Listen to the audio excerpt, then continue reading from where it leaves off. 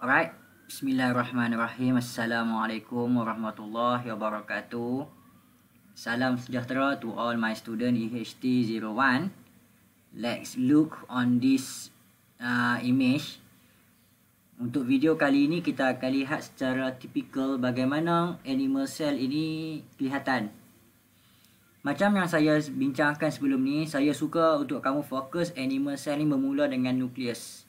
Sebab nukleus ni adalah induk kepada bagaimana sel ini berfungsi. Nukleus akan menyimpan maklumat-maklumat heredity. Store the heredity material. Ataupun genetic information. Nukleus ini berada di tengah-tengah sel animal ya. Located at the center of the animal cell.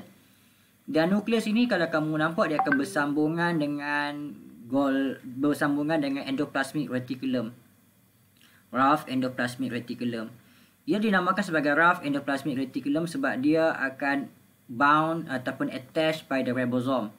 So kamu boleh nampak ribosome ni attached pada rough endoplasmic reticulum. Terdapat di sebelahnya adalah smooth endoplasmic reticulum. Di mana smooth endoplasmic reticulum ni does not attach, does not attach by the ribosome. Kemudian dia akan bersambung dengan Golgi apparatus. G huruf besar ya, nama apa? Berdasarkan nama orang ya, Camilo Golgi. Dan daripada Golgi apparatus ini akan mengeluarkan satu struktur yang dinamakan sebagai lysosom. So ini lysosom ya, lysosom akan keluar daripada Golgi ini. Juga lysosom, ini juga lysosom, ini juga lysosom. So lysosom ni akan keluar daripada Golgi apparatus.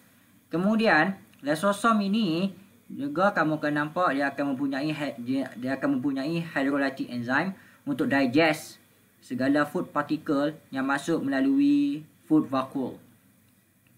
Kemudian di sebelah nukleus ni ataupun di sebelah ER ni ada centriole dan centriole ni penting untuk microtubule arrangement during cell division. Centriole ini kalau kamu lihat dia dia have no any membrane ya. Dia satu organelle So apabila kita gabungkan centriole dan lysosome, so centriole dan lysosome ni are not found in plant cell, not found in plant cell. Flagellum ni akan jumpa sedikit pada pada sperm of plant cell. Jadi yang paling utama yang tak ada pada plant cell adalah lysosome dan centriole. Kemudian kita fokus kepada organen yang melibatkan tenaga.